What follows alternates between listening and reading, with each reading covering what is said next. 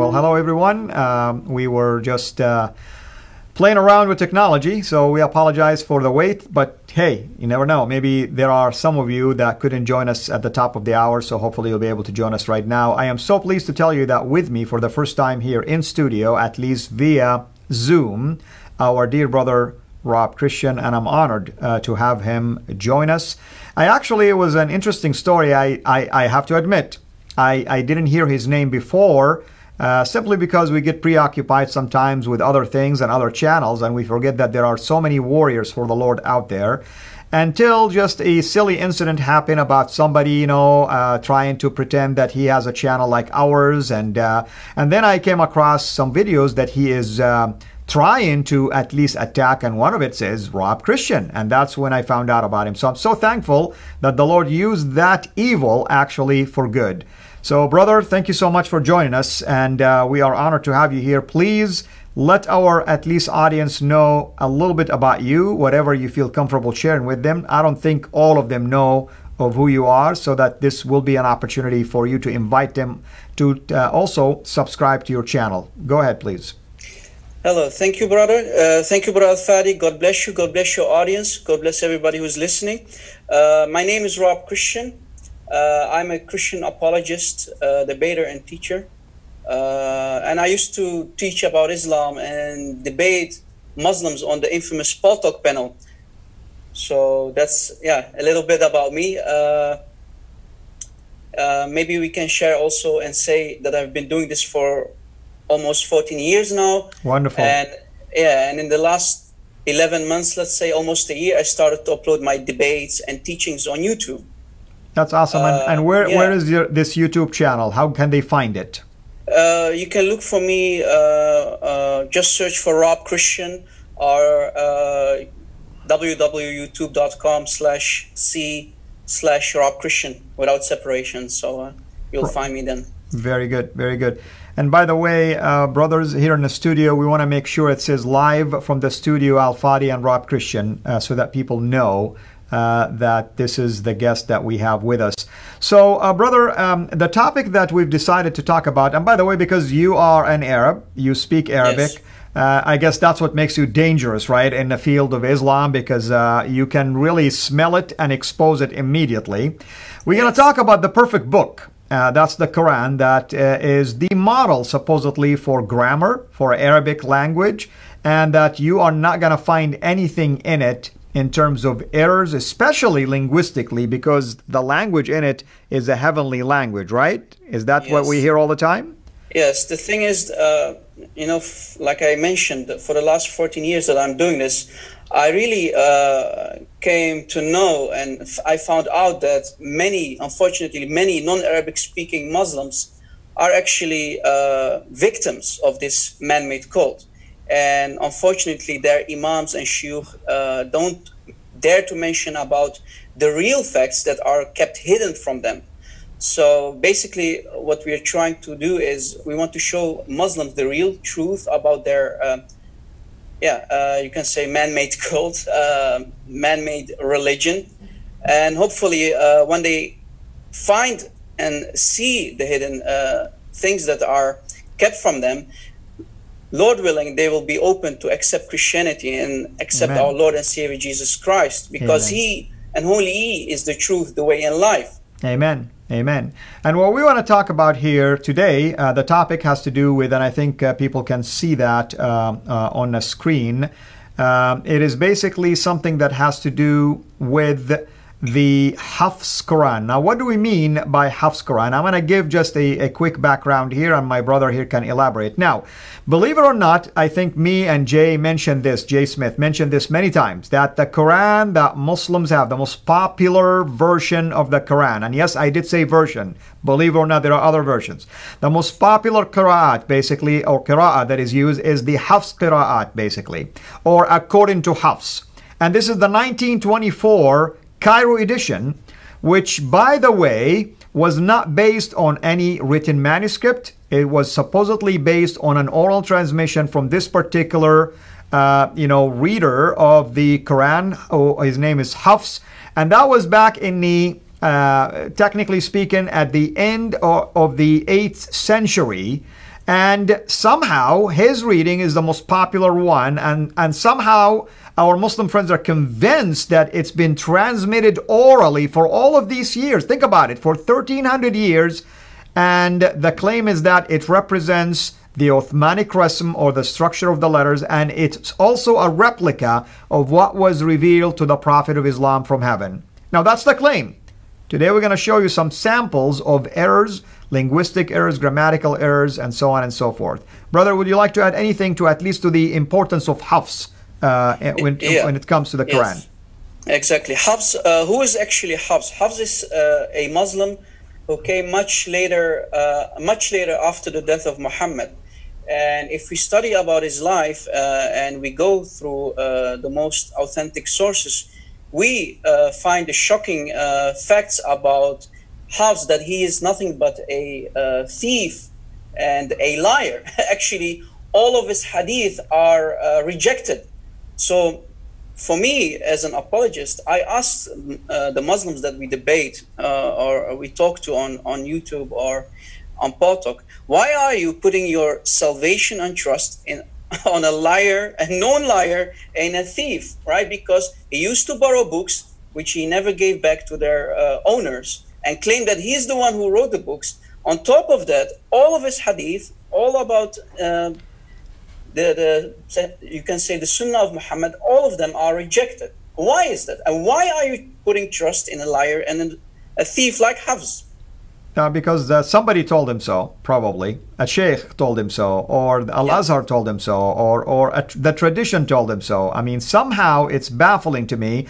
And I'm sure you know this, uh, uh Rob, but uh, there are five at least known traditions of Hafs that uh, they have their own variations and differences. So within Hafs, the Hafs family of Qurans, there are variations. What does that tell you then about the preservation and the authenticity of the text itself?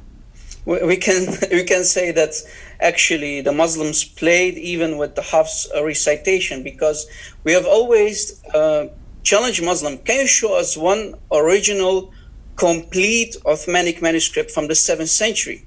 According to Islamic tradition, uh, Uthman gave the command to Zayd ibn Thabit to collect the Quran and write it in the Qurayshi dialect.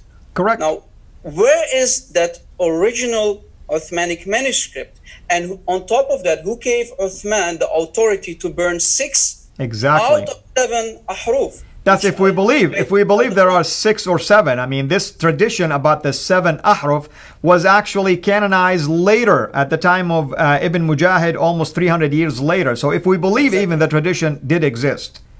Exactly. Yeah, and even and, the, the, original uh, Hafs they don't have anymore. That's right. Now somebody somebody is asking a very good question. You know, Akash Hader is asking you, saying, you know, can you elaborate further about who said that Hafs is a liar? Now, I would say, Akash, go and Google it. You'll find this yeah. uh, on on the web. But do you have well, any uh, yeah, source well, at actually, least? Yeah. Uh, Imam Bukhari said it, uh, and Nisai said it. Those are at least two uh, from prominent Islamic scholars, books, right? Yes. six Sita authentic narratives. Hadith, correct. Correct. Yes. So so you can go and Google it. I'm sure you will find many who wrote about this. It's not like a, a, foreign yeah, knowledge, yeah. by the way. We're not like inventing things right here. Everything we share, it's easy these days for people just to do a simple Google search and you'll find it immediately. So so brother, let's take a quick journey to show uh, uh, our basically audience or viewers in this case what exactly is going on. And and by the way. Uh, I want to say uh, this, brother. I, I, you know, maybe failed to um, elaborate on this. That yeah, Al Fadi, if I if I can uh, just add to to the question of the brother who who asked us question about uh, Hafs, uh, I can I can give you a couple of names. Go ahead. al-Bukhari تركوه that means they rejected his hadith. وقال Muslims that is Imam Muslim and Imam Bukhari which are the yeah. second most trusted sources to go to after the Quran Right. Both of them, they say his hadith are rejected. That means he is a liar when it comes to hadith. So right. this is the top two sahih, basically hadith. Exactly. Right. So you, you cannot trust him.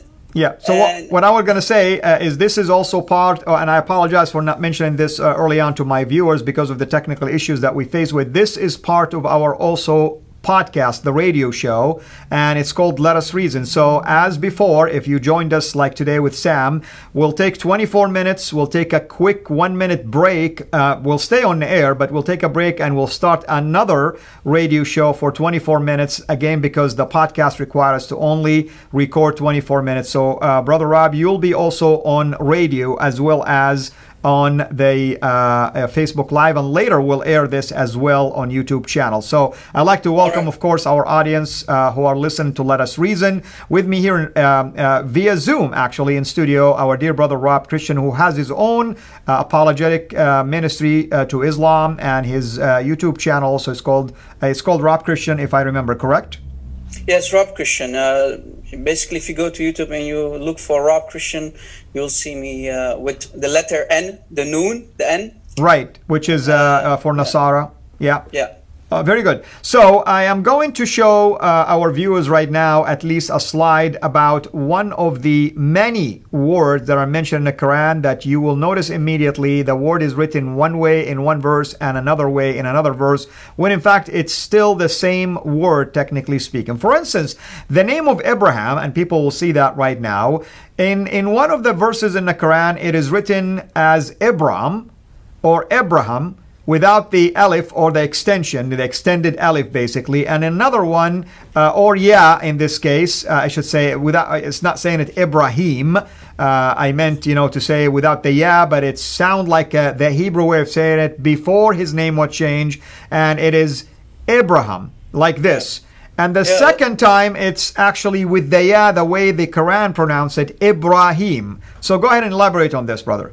Yeah, as you see uh, on the screen, uh, it says in chapter Al Baqarah, if you go to chapter Al Baqarah. Surah uh, chapter 2, yeah. Yeah, chapter 2, that's chapter 2 indeed. Uh, in the whole uh, chapter, you can find the name uh, Abram, basically, Abraham. Right. So without an, let's say, an E or a Ya. Without a Ya, exactly. Yeah, so the whole chapter contains, as you see above, without an E, let's say. But in the rest of the 113 chapters, the name is completely changed. So we should ask Allah which which is the correct way to write the name Abraham. Is it without an e or is it within with an e as mentioned in chapter Al-Baqarah, Surah Al-Baqarah? Right. Right. And Muslims will say, "Oh, they are both correct." No, they are cannot be both correct because we're talking about a God. Can God make such huge mistakes? We are talking about a complete God that you claim that he's a complete God, all knowing. So both names cannot be correct. This is a name, right? Right. And the idea, of course, uh, our Muslim friends going to come back and say, wait a minute. I mean, the Quran was revealed orally. No, no, no. It says it is written in the preserved tablets in heaven. So which exactly. way it's written? Which way it was written? You tell exactly. me. The way with the exactly. ya or with the, the way without the ya? And don't tell me Abraham and Ibrahim are one and the same. No, that's not the case because no, uh, I didn't grow up basically as a Muslim believing that his name was Abraham. It was the Bible that told me his name was Abraham and became Abraham. That's what yeah. the Bible teaches, and there is a reason behind that change. But here, there is no logical reason why the name appears in two different ways. Anything else you like to add to this particular incident before we jump into another example? Yeah, Al-Fadi, we can actually conclude uh, that these are traces of human intervention, right? Exactly. They, they, actually started to play with the words. Exactly. a perfect cluster proof that they actually started to play and add things that are not there. Yeah, and I would argue, brother, I would argue, I mean, I cannot really confirm it yet. This is just a theory right now, that some of these uh, actually uh, things that they were hearing had to do with how Muhammad probably or his followers, when they went to Medina supposedly and they were interacting with the Jews and the Jewish tribe, they were hearing things about Abraham, Abraham or Abram, and they probably assumed it was this way. And then later on, they realized the name changed and they began to wrestle with those kind of things.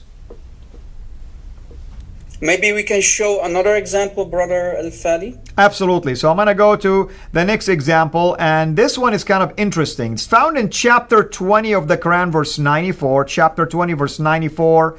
And uh, basically, you find the word actually written as, I'm going to say, O son of my mother. That's the English translation. But the Arabic is Yabna Om. You can see the one at the top which is Ya ibn Um, the one at the bottom. In fact, you'll find those two different ways uh, being written for the same verse. And when you go to the commentaries, the Islamic commentaries, believe it or not, they all write it the way at the bottom. Or at least yes. I don't want to say all. Most of them right at the way at the bottom. They're trying to explain to you why I was said this.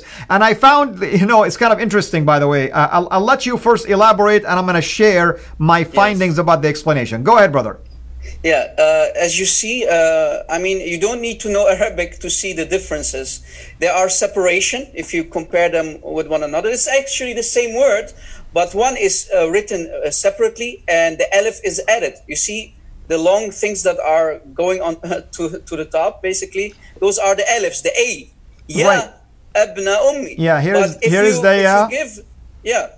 So uh, the, the, the beneath one, the under one, that, that's the correct one to, to write it in the modern way, right? Exactly. But if you ask a, um, let's say, a college student or a university student, an Arabic speaker who goes to university and you ask him to read the above word, uh, he, he cannot read it. They can, and, and even cannot read it. If you dictate it to them, if you dictate it to them, say, "I want you to write Yabna Om." This is how they're yeah. going to write it, the way at the bottom. They're not going to write it exactly. the way at the top. Exactly, exactly. So the the above one, they cannot read it, and we're talking about a college student. This is not a guy who just or a kid who recently went to school. So right. you have to give them the beneath one to correctly read it. And uh, what is more damaging, brother Al Fadi, you see, this is both from chapter 20, ayah 94. But why can we find two different uh, spellings for the same word? Because if you go, let's say, to Quran.com, Quran.com, that's basically the number one uh, website for the Quran uh, that we can go to. It's written like the above one. But if you go to QuranWow.com, you will see that it's written like the one that you highlighted, the yeah. beneath and, one. And here is the explanation. So they are playing, they are correcting the words of Exactly, exactly. When you go and read the commentaries, especially earlier Islamic commentaries, this is what they say. Uh, some uh, somebody ask a mufti, okay, a guy who can really issue a fatwa or a declaration or at least explanation. Says, why is it written sometimes this way and other times this way? His explanation was, well, this happened when uh, I'll give you the background.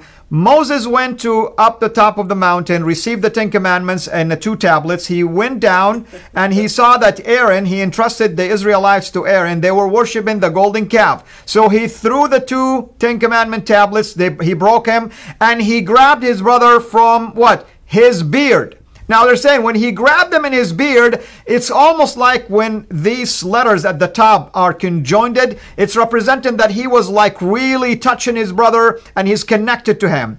But the others who are saying the bottom uh, way of saying it is the right one as well. And why is it separated, the letters? He's saying, well, because they, he wasn't really yet touching him as closely as he was according to the one at the top. In other words, there's two way to explain it. When he was, if if he was really grabbing his brother from the beard closer to him, then you write it according to the way at the top. But if he was just trying to grab his brother, then you write it at the way at the bottom. Does that make any sense? Does that make any sense to anybody, to any logical person who can think about it? Since when's grammar has to do anything with emotions and anger? Anyway.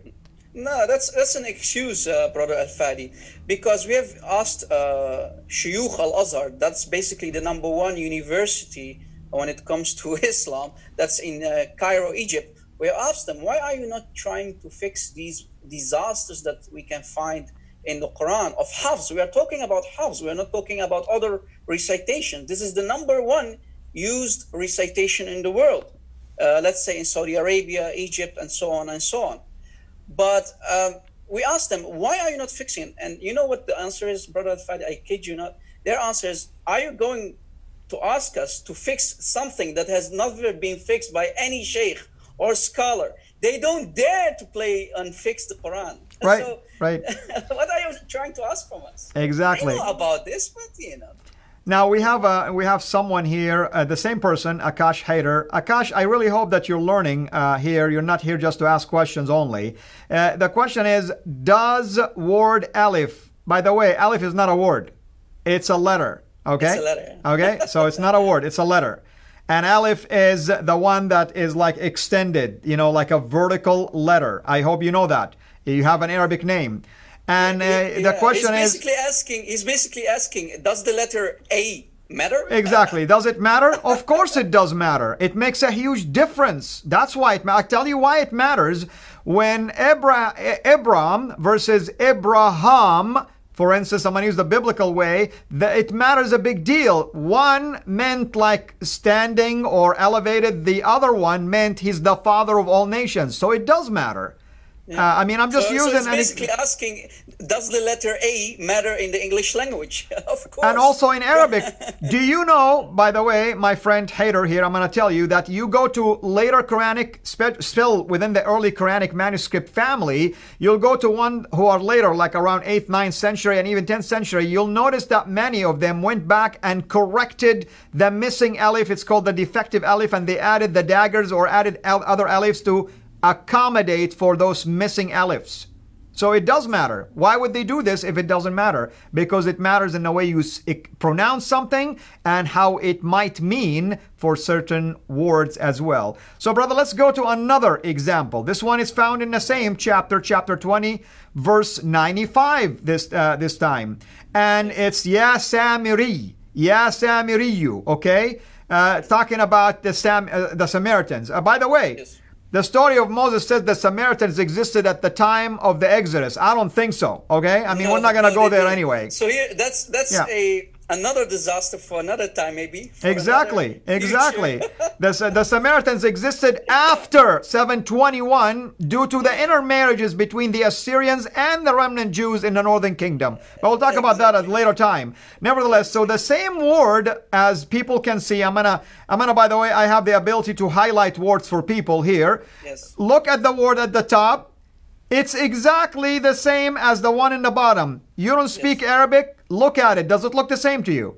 I'm talking to the people uh, who do not yeah, speak maybe Arabic. You can highlight the part, uh, Brother Fadi. You, you will see that they are trying here Yeah. uh, to fix it with a baby Aleph. That that That's small right. thing that's not even a letter. That's the dagger aleph right here. Yeah. And so the- basically, you can read it as Simari, and uh, Well, I tell you, yes, Marie. Yes, yeah, yes, Marie, or yes, it can mean something. I mean, sometimes people hear the word yes, Mar. By the way, they think you're you're partying, okay? Or or yes, Marie, that mean you who have like darker skin. That's what it means sometimes, okay? Maybe that's what it meant initially.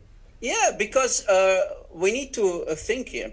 We believe if we uh, do some digging and do some research, we will understand and we will see uh, that uh, actually the real Quran was not even in Arabic, because you will find many traces that it's actually in the Aramaic language. But maybe that's a topic for another time. But as you see, as Brother uh, Al Fadi mentioned, the Alif, you know, the whole word change. The meaning cha- can change. Exactly. And again, if you're tuning in from Let Us Reason, thank you so much for doing so. Obviously, for those of you who do not know, I have a radio show called Let Us Reason, a Christian Muslim dialogue with Al Fadi. And I'm so uh, honored to have my dear brother Rob Christian with me here today. And hopefully, we'll have him more, not just on the podcast, but also uh, uh, in the studio through Zoom or Skype or whatever means available out there because we want to uh, basically uh, bless our brother here by giving him uh, as wide as possible platforms, not just his own, but other platforms, and hopefully others will invite him as well because we want to work together. We want to help each other, Amen, and we brother. want to Amen. broaden the reach. It's not about us. It's not about me. It's not about him. It's about our Lord Jesus Christ, and we want our Muslim friends to have their eyes open and their soul saved from eternal damnation. We want you to be in paradise. Today, our Lord Amen. said that you will be with me in paradise. Our Lord Jesus says he is the way, the truth. He said, I am the way, the truth, and the life. No one comes to the Father. Where is the Father? The Father is in heaven. No one comes to the Father except by me. And that's really important for us to know these things. So thank you again, brother, for being here. Thank you for those who are tuning in to Let Us Reason. And we have a few more minutes left, brother. So maybe one more minute, we'll go to another example. And then Yes. from there, uh, we will end up basically uh, uh, taking a break and coming to another uh, session of set, uh, Let Us Reason. So the word uh, that is found in chapter 51 of the Quran, verse 39, sahir, And Yes. the word, the same word found in the same chapter 51, verse 52. People can see it on the screen right now. And this is indeed a real disaster, actually. And I'll tell you why. Take all of these diacritical markings right here. Those are diacritical markings. We're going to take them all out from the word at the top. You know what the word become? Sahar, Sahar. Yeah. meaning magic word, you know, or uh, sahar, that's the name of a person. Uh, now look how they fixed it at the bottom. Sahir, meaning someone who is performing, basically, uh, is a magician, I should say. Yeah, Versus- magician or a wizard. Yes. So yeah. we have we have a huge problem here, and uh, the thing is, uh, if we ask a Muslim who is trying to do all kind of gymnastic and tap dancing around the issue here, they will say, "But look, uh, you know, you have the vowels. But wait a second, my friend, can you show me an one complete Ottomanic manuscript that contains vowels, let alone dots?" Yeah, yeah, that's a, that's a million dollar question, brother. We've been asking it for for a while now. Yeah, so uh, it's it's a totally different word, totally different meaning, right? And the alif, you see how important the a or actually the alif is in the middle. Uh, even a non-Arabic speaker can see the difference in the words. Forget about the vowels that uh, Amen, our amen. brother uh, Al Fadi wiped out with his blue pen. It's it should be uh, the same, the one and the same word. I mean, Allah. You claim that you are God in the Quran. Can God, Muslims who are listening, can God, who claims to be God in the Quran, can Allah make such disasters happen in the Quran? This is a complete eternal being that we're talking about. That's right. Should we ask Allah to go back to school and learn And- to spell Arabic And- words? yeah, right. And here's the difference, by the way. The one at the top is you can say this is without the uh, diacritical marks or the dagger alif, describing the action, sihr. The one at the bottom is talking about the one who is doing the action, sahir. Exactly. You see the big difference here? It can make a difference also in the theology of the verse. We have to look at it and the context of the verse and the meaning behind it. And there's many examples like this where the theology is questionable and you wonder who decided that the theology should be read this way or that way because of changing the positions of the diacritical markings or adding dagger alif or many other clarifications. Well, brother, we're approaching the end of our first segment on Let Us Reason. And again, I want to remind people to go and subscribe to our YouTube channel, CIRA International. And we encourage you to become a Patreon patron as well and give as much as the Lord put in your heart, but as little as one dollar. I mean, we are so thankful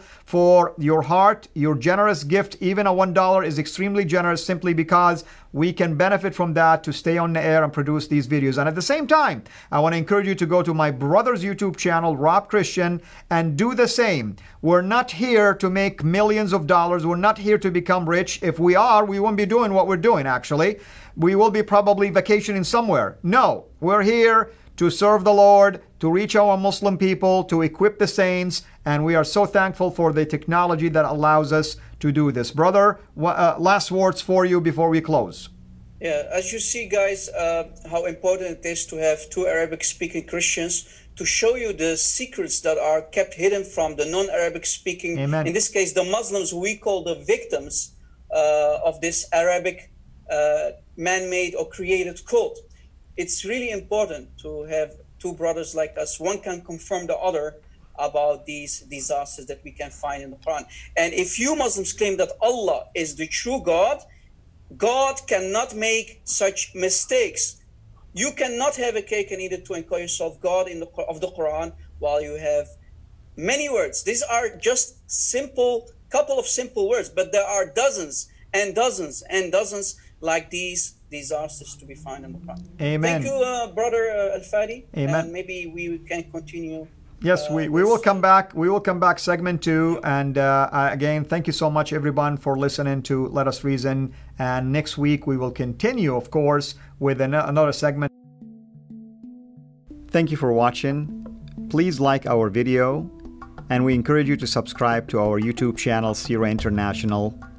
And be sure also to click the bell so that you receive notifications whenever we upload new videos into the channel. And finally, I like to prayerfully encourage you to become a patron through Patreon. Your giving is much needed and will enable us to produce more and more of videos like this so that we can publish them on a weekly basis. So thank you in advance.